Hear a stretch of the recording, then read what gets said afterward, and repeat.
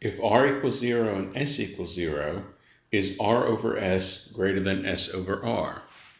Well, the first thing I'm going to do is I'm going to cross multiply in this inequality. And the reason I can do that and not worry is because it's guaranteed that both r and s are positive.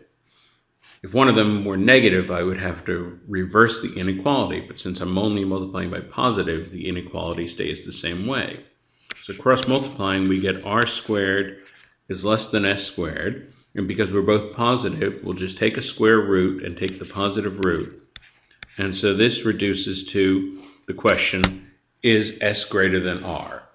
And so really this, this very complicated question can be replaced with a much simpler question. Is s greater than r? Well, statement number one tells us that r over 3s equals 1 quarter. So I'm just going to multiply both sides of this equation by 3.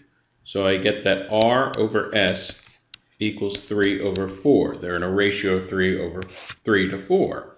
Well, this means, of course, that s is bigger. Well, if s is bigger, the statement is true. So this statement by itself is sufficient. Now forget statement number one. Let's move to statement number two. Statement number two just tells us s equals r plus 4.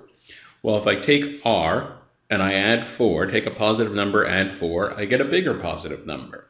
And so this also means that s is greater than r. So this statement also is sufficient. Both statements are sufficient. Answer choice D.